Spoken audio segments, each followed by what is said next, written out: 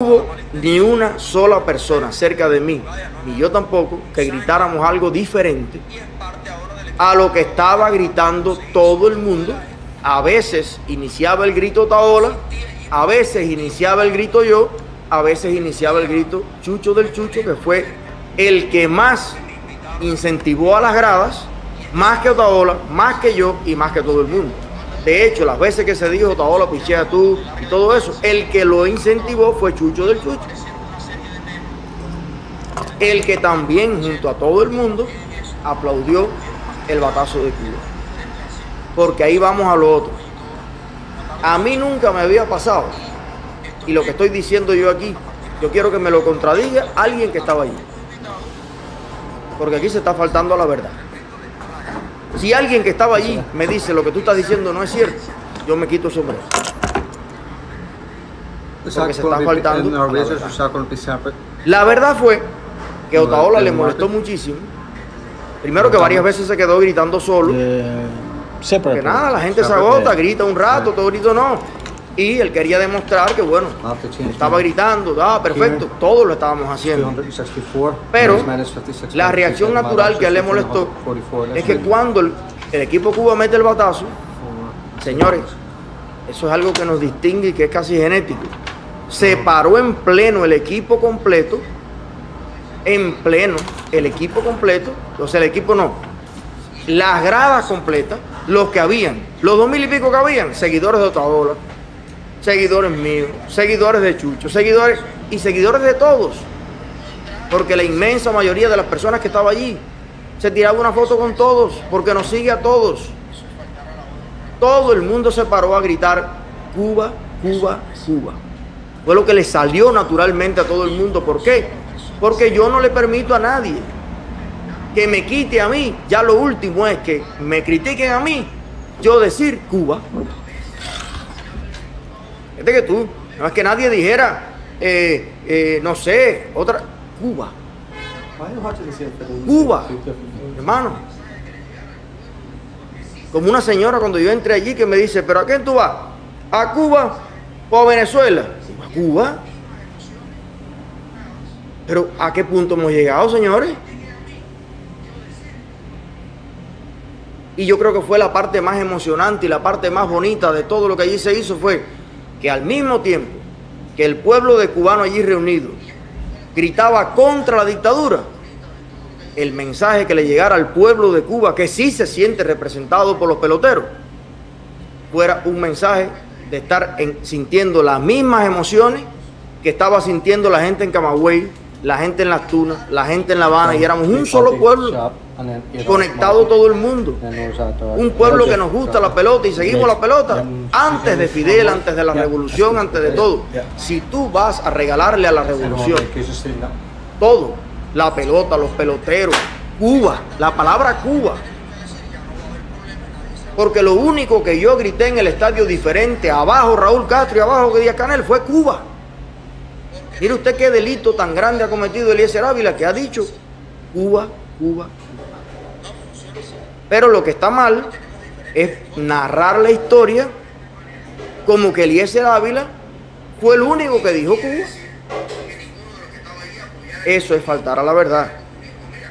Si usted va a hacer el cuento, haga el cuento y diga, mire usted, los alumnos indisciplinados violaron mi indicación y se paró el estadio entero y gritaron Cuba, Cuba, Cuba. Mi país para la próxima que Otaola nos los pase por escrito.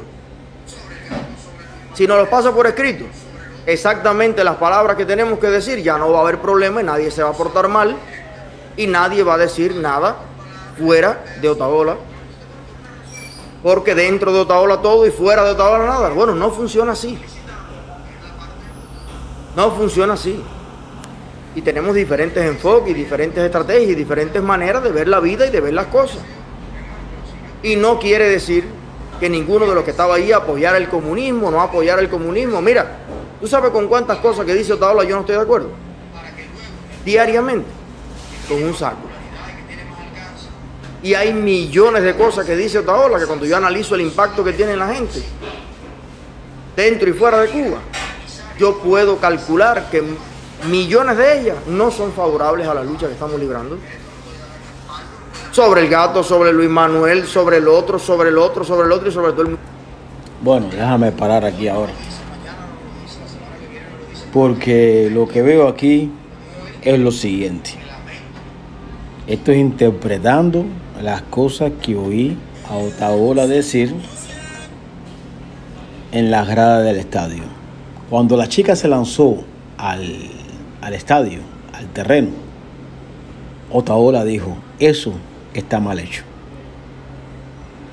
Otaola gritó de las gradas cosas, pero Otaola estaba lejos. Cosas como patria y vida, cosas como... Él gritó también. Lo que pasa es que ahora Otaola vio la repercusión que esto ha tenido y que va a tener. Esto no para ahí. Posiblemente incluso se abran casos legales. Porque esto es un juego que es un juego internacional. Esto no es un juego de manegua entre el equipo de Río Piedras y el equipo de Remanganagua. Esto es un juego internacional donde está por dentro, está por en medio mucho dinero. Mucho dinero en el punto de vista de que Cuba es uno de los favoritos en el campeonato mundial de béisbol. O en las Olimpiadas estas de béisbol. De Cuba no estar presente, por supuesto, que muchos punters no van a ir. Los punters son la gente que gastan el dinero para viajar a ver un equipo a través del globo, del globo terráqueo. Hay gente que son seguidores del equipo Cuba y viven en Gran Bretaña, viven en Japón, viven en, bueno, va a ser en Japón, viven, bueno, en Japón cuando en Estados Unidos, vive donde quiera y van y siguen a su equipo. Son los fanáticos, son los fans. Al Cuba perder, va a haber menos punters. El campeonato o, el, o estas Olimpiadas va a tener, es como si Brasil no va a la Copa Mundial. Es como si Gran Bretaña, Inglaterra, no juegue, no clasifique. O Alemania, o algunos de estos países que son duros, que pueden perder. Pero otra cosa es perder en clasificación para ir y otra cosa es perder durante ya una vez que una vez que comience la olimpiada o el campeonato mundial ya están compradas todas las boletas ya están tiradas todas las apuestas ya y la gente apuesta la gente apuesta según el equipo que esté jugando y en las apuestas y, en las Olimpiadas hay apuestas. Y Cuba siempre es un equipo que la gente le apuesta durísimo. Los apostadores le apuestan durísimo. Entonces aquí hay una esto va a tener una repercusión. Esto va a tener una repercusión mundial a través de todas estas empresas que se dedican a hacer dinero del deporte. Ellos van a buscar todos los clavos, todo, todo, todas las alternativas para culpar a alguien de la derrota de Cuba. Y la derrota de Cuba puede ser también motivada por presión del público. Para eso hay un público, para ejercer presión sobre los deportistas. Para eso se juega en suelos de, del equipo favorito, del equipo, de un equipo, por ejemplo, ¿para qué? Para que ese equipo tenga posibilidad de ganar. Lo que no se puede hacer es politizar y llevar estatus políticos a un partido de ningún tipo, ni de fútbol, ni de quimbumba, ni de lo que sea. Aquí se puede medir incluso la legalidad del juego de ayer y de esta serie o este preolímpico. Cuba puede presentar grandes demandas en contra del estadio de béisbol, Cuba puede presentar todas las demandas, incluso monetarias, del dinero que ha gastado, que gastó en todo lo que es eh, eh, transporte, hospedajes, pero también puede reclamar también, porque Cuba es miembro de la Federación Internacional de Béisbol, por la que tiene que pagar. Hay dinero que cada país paga para ser miembro de una federación, sea de tenis, de quimbumba, de baloncesto, de lo que sea, usted tiene que pagar. Todo es dinero. Y quizás esta gente no lo sepa. Quizás Otaola lo sabe ya. Quizás ya los abogados de Otaola ya le avisaron ya de que la cosa se va a poner fea. Se les va a poner fea. Ahora, ¿qué está haciendo Otaola? Otaola está creando ahora una situación desfavorable para todo el mundo menos para él. Otaola va a culpar a todo el mundo. Otaola va a decir que ninguna de esa gente gritó, aunque él gritó, Otaola no va a ser responsable por ninguno de ellos.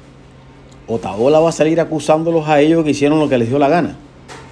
Otaola va a seguir acusándolos a ellos de que ellos fueron quienes crearon, porque fueron los que más gritaron. Como dice el Ávila, no había ni uno del PP. ¿Y usted cree que Otaola es bobo? ¿Usted cree que Otaola es bobo de llevar a alguien con una camiseta del PP, un partido político, a un, a un estadio, a un estadio de pelota, a un torneo deportivo?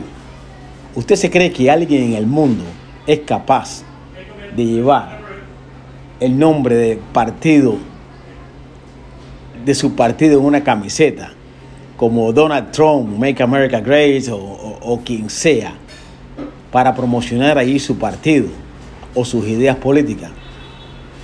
Ustedes no saben que un estadio deportivo es un lugar que es apolítico, es un lugar que es como entrar a quizás mira, más apolítico y más, eh, eh, ¿cómo se llama?, secular que una, que una iglesia, porque los que van a la iglesia todos son miembros de esa congregación, de esa, de esa fe. Pero un estadio de pelota, un estadio de, tenis, a uno de fútbol, a uno de quimbumba, acuática, quimbumba acuática, sí, a cualquiera de ellos entra gente que son afines a eso entra gente de todo tipo de religión y de todo tipo de credo y de todo tipo de pensamiento político. De todo tipo. Pero además, están jugando en los Estados Unidos. Cuando usted llega a los Estados Unidos con una visa, cuando, Estados Unidos da una visa, Estados Unidos es responsable de esa persona, de la integridad física, moral de esa persona o de esas personas. Estados Unidos le ofreció visa al equipo de Cuba y cuando usted ofrece una visa, usted es responsable de la integridad física, moral de esa persona. Lo que le sucede a esa persona en tu país, usted es responsable, los Estados Unidos es responsable independientemente de que esa persona tenga un seguro médico, un seguro de viaje, un seguro que se le ponchó la rueda del avión en pleno vuelo, lo que sea. Usted, eh, los Estados Unidos es responsable de los peloteros allí. Estados Unidos es responsable de los ciudadanos que tienen visa en los Estados Unidos. Estados Unidos tiene que velar porque no se violen ninguno de las cosas de lo que está escrito en la Constitución de los Estados Unidos. Y la primera enmienda establece eso. Otaola se está desmarcando. Otaola sabe que está en agua, en agua, porque ya lo dijo ya. Yo no he cometido, yo no incité a nada. Ya Otaola debe haber tenido unas cuantas quejas, unas cuantas cartas, unas cuantas llamadas de sus abogados. Se le fue la mano. Se le fue la mano y en gran manera. Se le fue la mano en gran manera y eso se va a saber porque el gobierno de Cuba sí va a presentar querella si va a presentar moción contra el estadio, no contra Otaola, no contra nadie. Eso es problema ya de las leyes de los Estados Unidos. Contra el estadio donde Palm Beach, creo que fue, West Palm Beach, cualquiera, no sé cómo se llama. Para mí era como un potrero ahí, pues, en Cuba hay mejores estadios que eso. Em, Cuba va a presentar quejas, querella contra el estadio por no presentar garantías y por permitir que esas cosas ocurrieran allí. Permitir que esas cosas ocurrieran con personas que se habían anunciado anteriormente a que lo iban a hacer. Personas que todo el mundo conoce o que pueden conocer fácilmente porque se había avisado, se está diciendo